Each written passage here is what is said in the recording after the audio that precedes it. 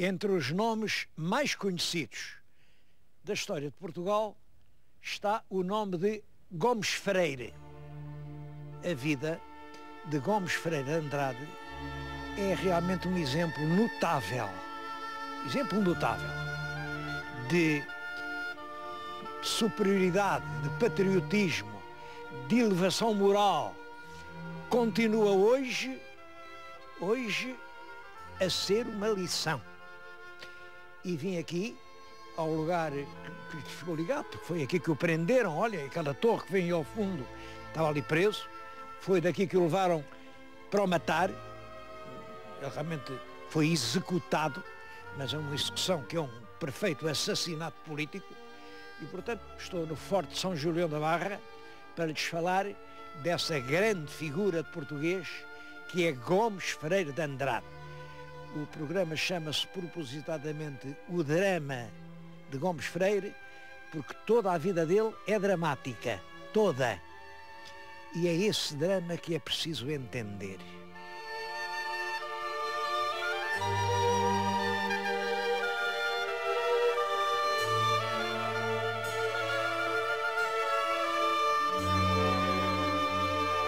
Ora, Gomes Freire nasce em Viena em 27 de janeiro de 1757.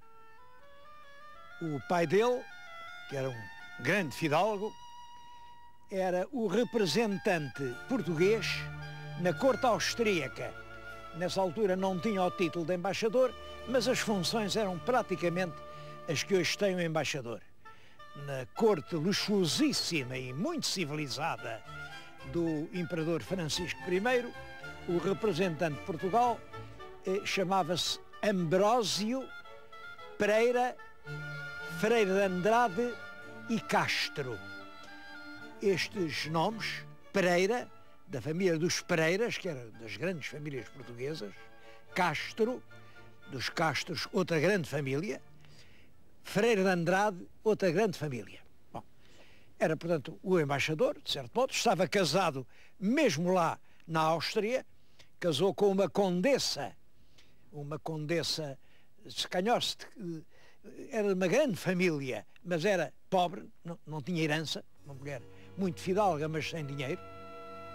Bom, mas o rapaz nasceu ali, ali eh, viveu, foi educado, ali estudou, eh, ali travou contacto com as correntes mais modernas do iluminismo europeu, até que, quando tem 13 anos, morre-lhe o pai. Morre o pai, eles ficam completamente sem recursos, o pai só tinha o que ganhava, o sucessor do, do nosso diplomata escreve para Lisboa a pedir que ajudem a viúva, que ficou com dois filhos, ficou com um rapaz, o tal Gomes Freire, e com uma menina, eh, mas daqui não mandam ajuda nenhuma. Eh, alguns biógrafos dão uma explicação é que o, o Ambrósio Freire de Andrade era um homem muito afeiçoado ao Marquês de Pombal. Aliás, foi o Pombal quem o mandou para a corte de Viena. Eh, em Viena é ele um dos que lutam para conseguir extinguir a Companhia de Jesus. Na grande guerra que Pombal trava contra os jesuítas, o, o embaixador de Viena, o Ambrósio, é um dos homens que mais o ajudam. E diz-se que depois foi por causa disso, por ele ter sido um, um, grande, um homem da confiança de Pombal, que a Dona Maria não quis socorrer a família. Isto não tem pés nem cabeça, porque o, o pai de Gomes Freire morre em 1770 e Pombal manteve a plenitude do seu poderio durante mais sete anos. Ele só vem a cair em 1777. Eu já tenho falado nisso, 1777. O povo chamava-lhe o ano dos três martelinhos. Portanto, durante esses sete anos, ele tinha bem tempo para socorrer a viúva e os filhos. Não o fez porque não quis, por qualquer razão, porque ele não era assim também muito, não era muito hábil. Ele servia-se dos homens enquanto os homens serviam. O homem morreu, acabou-se. Não se falava mais nisso. Portanto, aos 13 anos eh, Gomes Freire vê-se numa situação de dificuldades, fica em casa da mãe, lá em Viena, eh, está lá mais, mais uma dúzia de anos e só quando já tem 24 anos, isto é muito importante, já tem 24 anos, é um homem completamente feito, um homem criado numa corte extremamente avançada sob o ponto de vista mental, é um homem já leu os livros de Voltaire, os livros de Rousseau, o Montesquieu, é um homem que já tem uma ideia da filosofia e do mundo, eh, quando ele finalmente vem para Portugal já no ano de 1781. Bom, mas vem para Portugal, Gomes Freire, ele nunca, embora ele também se chamasse Pereira e Castro, nunca assinou nem Pereira nem Castro, raramente. Ele chama-se só, simplesmente, Gomes Freire de Andrade. Ele não tinha emprego, não era nada, era muito fidalgo, mas o mais que conseguiu foi assentar praça como cadete no regimento de infantaria de Peniche. Isso já aos 25 anos. Bom, é importante perceber isso, porque nessa altura assentava-se praça aos 14 e quando chegava aos 20 já se era tenente e aos 25 era capitão. Ele aparece a começar a carreira militar como cadete em Peniche aos 25 e só aos 27 é que é tenente. Ele que tinha uma cultura muito superior a todas as pessoas que na carreira das armas já estavam muito acima dele, claro. Eh, aos 27 é tenente, eh, e ele, por isso, ele não, não se deve sentir bem aqui, porque ele, logo que sai tenente, quer ir para a guerra. Arranjar uma guerra para ir. Nós não tínhamos guerra nenhuma, mas há nessa altura uma guerra da Espanha com Argel, ele pede licença e, e, e passa para a Marinha e Portugal aliou a Espanha, mandou três navios de guerra eh, a apoiar a esquadra espanhola e ele embarca e anda nessa guerra. Bom, esteve na Marinha três anos, mas ao fim de três anos saiu da Marinha e pediu para voltar ao regimento de Peniche. Aqui os biógrafos costumam dizer, bom, ele não se sentia bem no ar, não, era marinheiro, preferia a guerra na terra. Eu também suponho que se enganam, não é disso que se trata. É que, quando ele pede para voltar ao exército, anuncia-se uma grande guerra na Europa a Áustria, que no fundo era a terra que ele bem conhecia, alia-se à Rússia e os exércitos austro-russos têm agora um caminho enorme. Vão tentar expulsar os turcos da Europa. Como sabem, estamos no século XVIII, mas a Turquia ocupa muitos países na Europa. E, portanto, quando se anuncia a guerra contra os turcos. Ele pede licença aí e eh, inscreve-se no exército austríaco e vai para a Rússia para andar na guerra contra a Turquia. Bom, esteve lá, eh, essa é uma guerra em que ele toma parte em inúmeras batalhas, porta-se tão bem que a, a imperatriz da Rússia, que é a, Czarina, a Czarina Catarina II, nomeou, promoveu a coronel, entregou-lhe uma espada de honra. Bom, e mais do que isso, convidou-o mais de uma vez para ir para o camarote dela assistir à ópera. Nesta altura, Gomes Freire era um homem de 30 anos, era um sujeito extremamente bem parecido, e a Cesarina não há dúvida de que simpatiza com ele, visto que o convida para ir à ópera. Devo dizer que a Cesarina era uma mulher cuja eh, ligeireza de costumes era famosa em toda a Europa. Ela tinha um favorito, que era o príncipe de Potenkine. Este príncipe Potenkine é o general dos exércitos, é o homem que tem o plano de expulsar os turcos da Europa e a certa altura o Potenkine não gosta assim muito de ver aquele português tão bem parecido, tão jovem, e tão perto da Czarina. Portanto, manda dali para longe para outra guerra e vai para a guerra da Suécia. Esteve na guerra da Suécia, também aí se porta, porta muito bem, até que a guerra acaba. Bom, já não há guerras na Rússia e é nessa altura que ele eh, volta a Portugal. Eh, volta a Portugal, eh, mas entretanto dá-se a Revolução Francesa, tudo isso se passa quando ele está na Rússia, e quando ele volta a Portugal, Portugal vai entrar agora numa guerra já ligada com a Revolução Francesa, que é a nossa campanha do Roussillon. Bom, o senhor telespectador pode não saber bem o que isso é, mas a história é a seguinte. Dá-se a Revolução Francesa, na sequência da Revolução, eles cortam a cabeça ao rei, ao Luís XVI, o que deixa horrorizados todos os tronos da Europa. A Revolução prossegue, depois cortam a cabeça à própria rainha, que é austríaca, eh, a rainha Maria Antonieta, instala-se o terror e aí toda a Europa se mobiliza e fazem as grandes coligações para ver se metem a França na ordem, se acabam com aquele incêndio que ameaça devastar o mundo. E Portugal também entra nisso. Arranja um exército, um exército, eh, enfim, eh, relativamente importante, aliado aos espanhóis, eh, desembarcamos no sul da França, no Roussillon, é por isso que chama a Guerra do Roussillon, e nesse exército, lá vai o Gomes Freire, que nessa altura já é, é coronel e, portanto, comandante de um regimento e é integrado como comandante do regimento que ele vai para essa guerra. Nessa guerra não houve mal que não nos acontecesse. As tropas iam mal preparadas. Os rapazes, soldados, nem botas tinham. Andavam descalços na neve, isto era inverno, esfarrapados e famintos não tinham armas, não tinham nada. Os generais, os comandantes, eh, não se preocupavam com isso, tratavam lá do seu, eh, enfim, do seu eh, conforto. Eh, as próprias operações militares eram conduzidas de uma forma eh, desastrada. E Gomes Freire põe tudo isso nos seus relatórios e comunica ao Governo de Lisboa.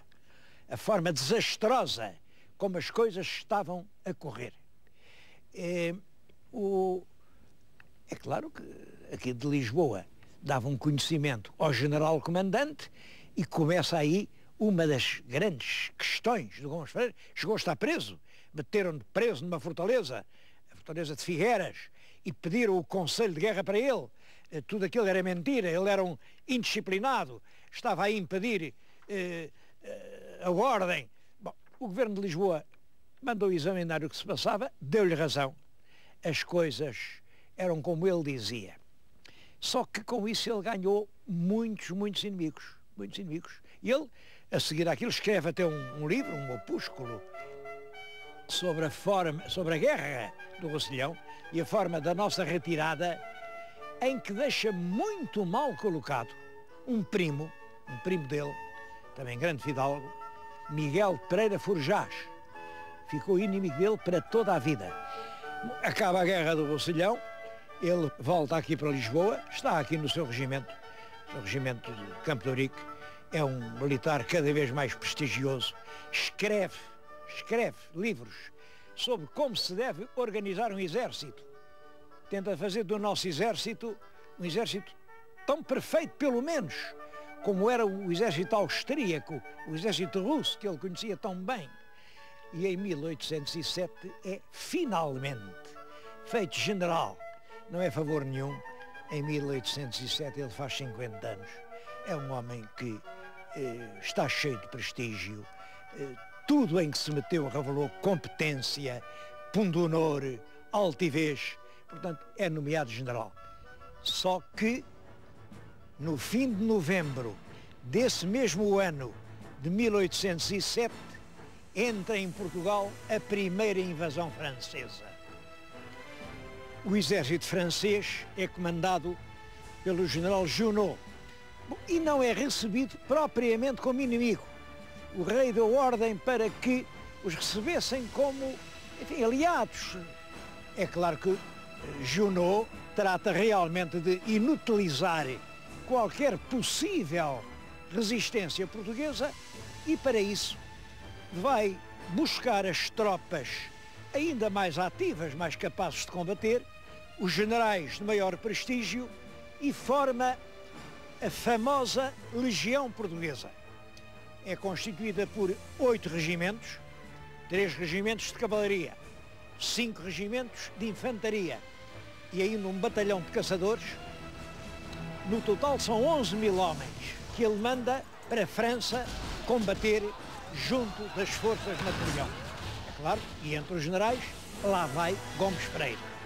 É o próprio governo português quem dá ordem às tropas para obedecerem ao Junot, portanto, eh, a região portuguesa, enfim, é um ato militar, eles fazem o que o governo manda, vão para a França e, e partem para lá ainda nesse ano 1808, eh, nos meados do ano, e depois anda por lá, 1808, 1809, 10, 11, 12, todas as grandes campanhas de Napoleão lá está a região portuguesa, cada vez mais reduzida, os 11 mil homens vão morrendo, uns de doença, outros de tiros da guerra. Dos 11 mil basta dizer que só se sabe que tenham eh, sobrevivido 100. Houve 100 que puderam voltar à sua pátria. Entre esses 100 veio o Gomes Pereira, imaginem. O resto morreu tudo. Bom, mas eh, portam-se sempre bem, eh, Gomes Freire combate na Rússia, combate na Alemanha, combate na Áustria, combate eh, na Suíça, combate eh, anda por, por, toda a parte, enfim, porta-se sempre com muita dignidade. O Napoleão dá-lhe a Legião de Honra. Eh, em 1812, ele é um dos generais que acompanham Napoleão à Rússia. Napoleão comete esse erro de organizaram um exército imenso, um exército que tinha 450 mil homens, o maior que até então a Europa tinha visto. Dos 450 mil, voltaram à França 18 mil. O resto ficou, eh, o grande exército napoleónico foi destruído na terrível retirada na Rússia. Bom, e junto Napoleão está sempre o calmo, sereno general Gomes Freire só que depois da derrota da Rússia, Napoleão ainda tenta um último esforço. Há a Batalha de Waterloo, em que as tropas napoleónicas são literalmente esmagadas. Napoleão tem que abdicar, acaba a guerra. Gomes Freire ainda ficou por ali eh, mais um ano ou dois e, e, finalmente teve que voltar, já havia guerra para ele.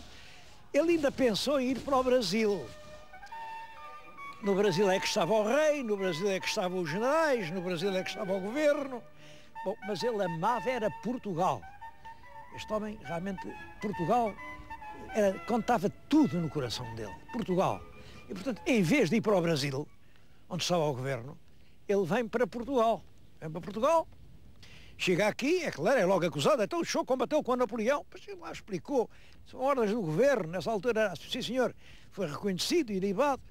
E pronto, ele volta à casa e agora é ele que diz, pronto, e agora vou pendurar na parede a minha espada e deixá-la ali enferrujar à sua própria vontade. Bem enganado estava ele, bem enganado estava ele.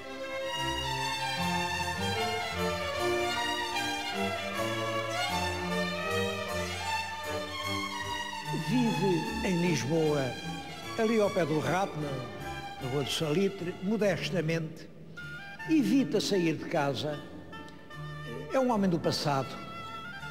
Simplesmente é um homem de quem toda a gente fala. O homem que andou por essa Europa, só venceu batalhas, só tem condecorações. Bom, e então, por outro lado, sabe-se que é um homem que está ligado à maçonaria, isso desde muito novo vão falar e pedem-lhe que seja o seu grão-mestre. Realmente é uma honra ter aquele homem por grão-mestre. E ele aceita, aceita.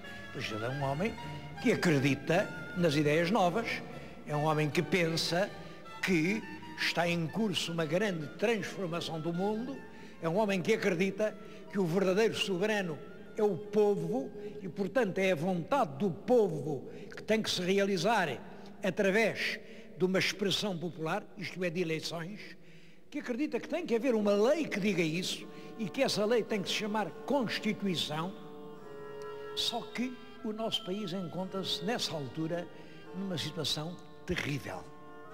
De facto, os, os franceses fizeram invasão, foram expulsos, mas o país ficou coberto de ruínas, de misérias. A corte e os fidalgos e os tribunais e os ministros, toda a gente foi para o Brasil. Isto aqui é uma terra de mendigos.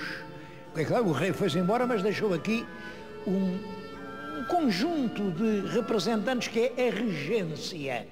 Bom, mas quem manda na regência, de facto, de facto, não é o rei, é o general inglês, o general Beresford, que foi nomeado comandante em chefe das tropas depois de acabar a guerra. Bom, é necessário que o rei, que está lá no Brasil, longe, há tantos anos, meu Deus, então se ele é rei disto, tem que vir para cá.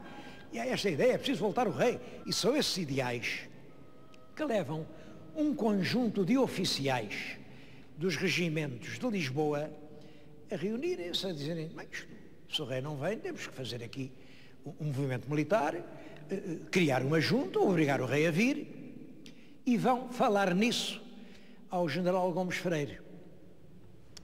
Existe a sentença que nós conhecemos e por aquela sentença, um jurista que leia aquilo fica inteiramente convencido de que o general não estava metido na conspiração. Durante as noites, quando havia qualquer ruído extraordinário na cidade, eu pensava, quem sabe se não será agora, mas isto significa que ele não sabia a data. Quem não sabe a data é porque não é o chefe. Portanto, não foi ele que preparou. Apesar disso, bem, houve dois oficiais, dois oficiais que traíram, e é na base desses dois oficiais que todos os conspiradores são presos. Também aproveitam para prender o Gomes Freire. Há um julgamento um julgamento por juízes que também não fizeram honra à sua profissão, fizeram o que o governo lhes mandou fazer. Há aqui uma pedra que tinha escrito estas palavras, mais ou menos estas, do bom ao mau vai grande diferença e tal o juiz, tal a sentença.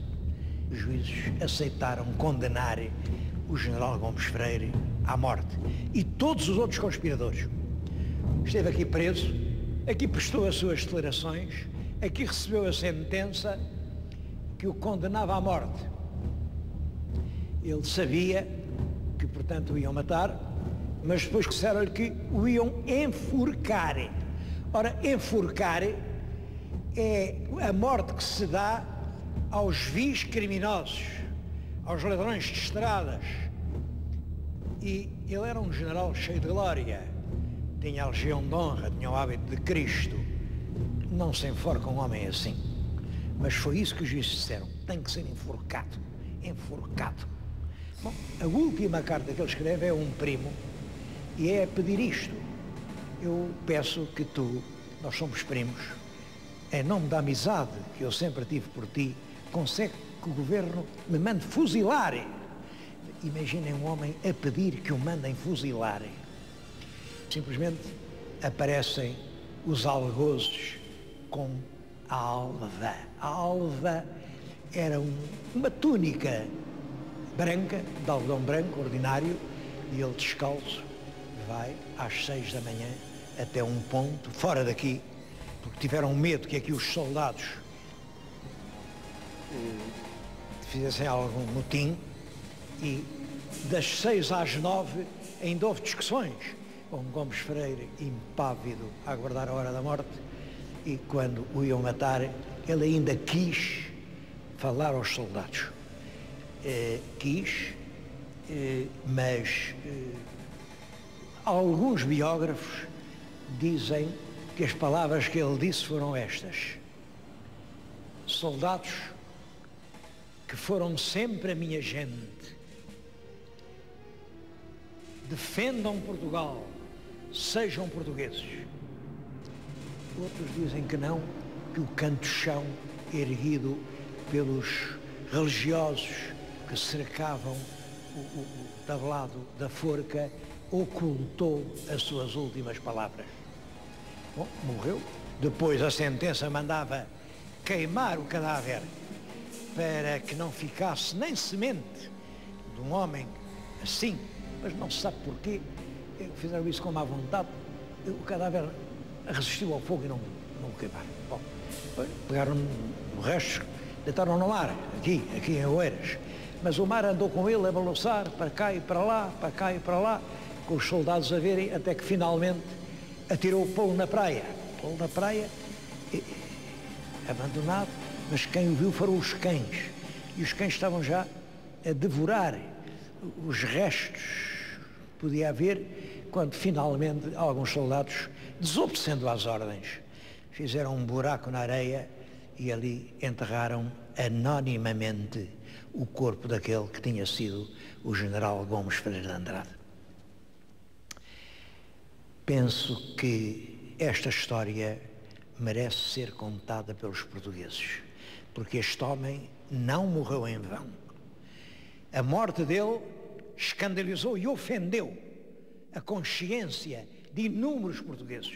Logo a seguir, vários eh, liberais na cidade do Porto juntam-se um grupo, faz o sinédrio, combinam exatamente uma revolução igual, em cada quartel passa uma palavra, essa revolução vem para a rua no Porto em 1820 e são os liberais de 1820 quem faz a primeira Constituição Portuguesa, 1822, o rei regressa do Brasil a Portugal e realmente essa revolução fez reentrar Portugal no quadro das nações independentes e progressivas.